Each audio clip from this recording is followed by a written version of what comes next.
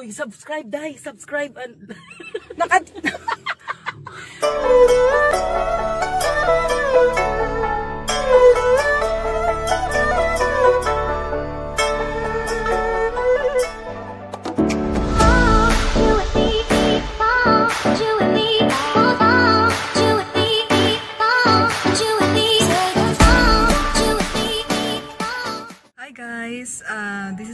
Starfish Diary. Welcome back to my channel.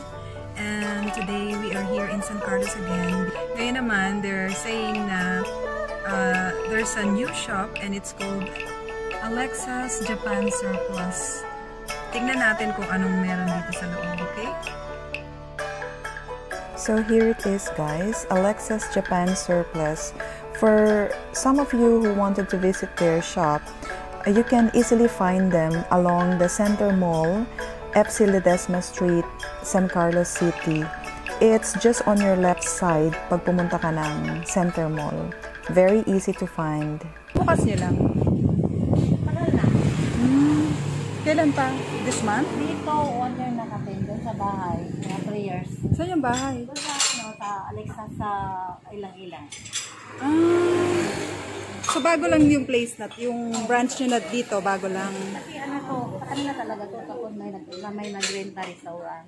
Tapos, Oo, may restaurant nga oo, dito dati. oo, kaya, lumipat kami dito. Sa kanila talaga. Ah, okay. Pero open din yun for business, yung nasa ilang-ilang Oo, street. may itingin doon, may tao man doon.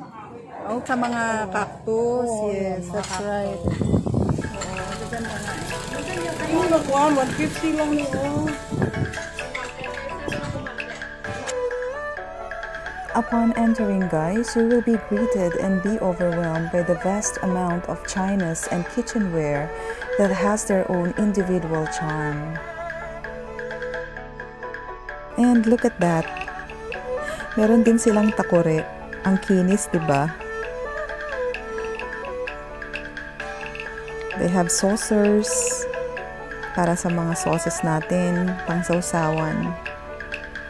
Ang daming pagpipilian. Ikaw na lang siguro yung susuko. And look at this. They have these organizers.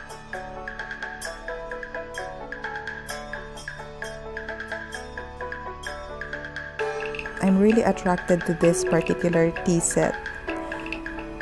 It's so beautiful.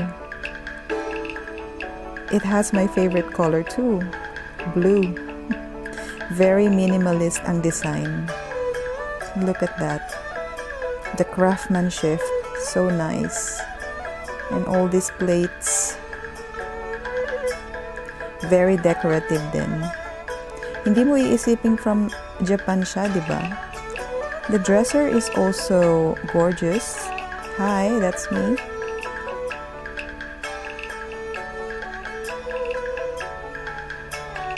Moving around, you can also see lamps and lots of vases. Oh, and what's that? Eye candy para sa mga collector to. Look at the dolls. Mga geishas, samurai. Everything is in a mint condition. Matutuwa kung sino man yung makakabili nito kung collector man siya. Look at the details. Very intricate. You see? Napaka-graceful. Kahit na mga dolls lang sila napaka-graceful ng pagkakagawa nila. 'di ba and this one I think this one is um headdress para sa mga warriors. And even this one it's also a headdress. Samurai headdress. But I think it's more on the collectibles. Para sa mga collectors na to. They also have lots of Buddha figurine. So many things to choose from. Nakakalito minsan, di ba? Pag pumupunta ka sa mga ganitong lugar, hindi mo alam kung anong dadamputin mo. All the nice vases and that small bottles, I think that's for their sake. And this one is for their tea. Mm.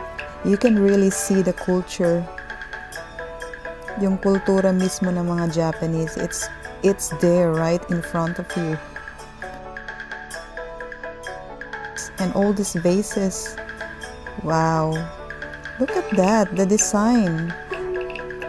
Sabi nila hand paint hand painted daw yan eh. So pretty. All these vases, nakikita ko lang to sa mga Korean drama and Japanese drama. Very nice. And that's Nanay looking for a nice bargain. I wonder kung ilan yung mabibili niya ngayon. Pag, pag, pag, lang, Si Mahi. Si Mahi kasi nalagyan na niya yung Tupperware pag lasagna.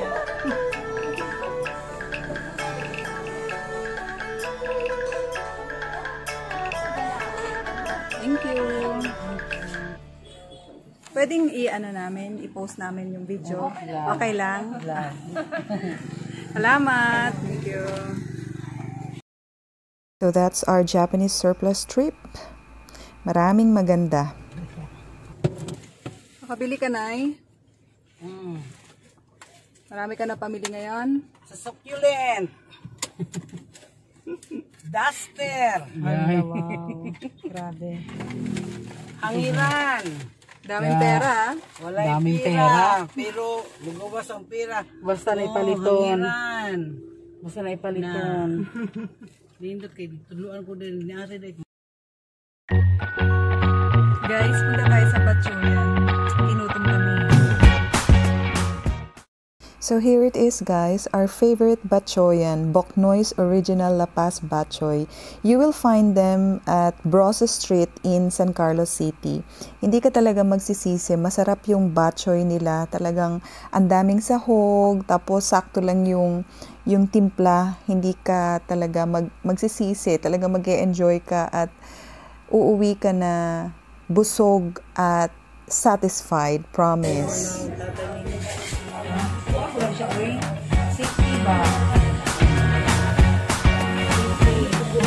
can't forget the day we met. Your eyes so blue, me pressing through. I can't forget the day we met. Your smile so bright, it made me swoon. Our love is like a summer's day, hot and endless. Pakita natin yung ating? So, ito na. Dumating na yung order namin. Batchoy. For me, with egg. Pero kila Garnel at saka kay nanay, without egg. Alam mo naman eh, gusto ko, I have everything, all the sahog kailangan nasa plato ko. And I put some chili and pepper and then mix. So, yummy. Kain muna kami guys. Later.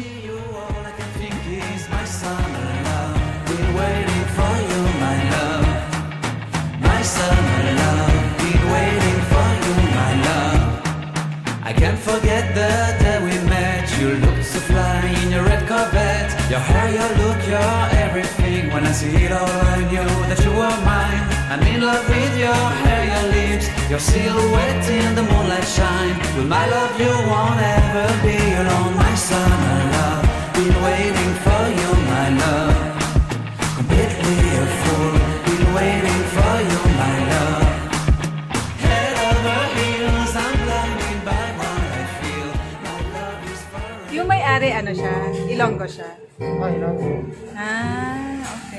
Sino yung may-ari?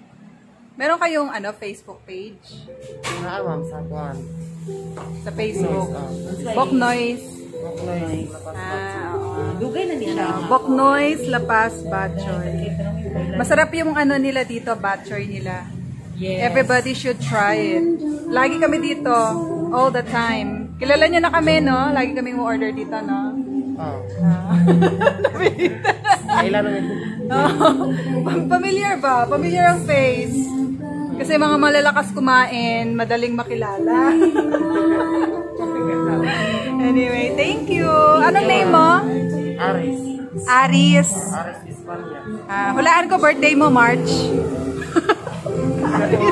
Kilay lang dahil. Kilay. Kilay. Bye, thank you. Bye-bye. Bok noise.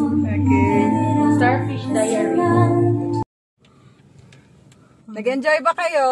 Yes, very much. Busog, Busog, busog, lusog. lusog. Thank See you again next time. Thank you for ya. watching. Like and subscribe. Bye.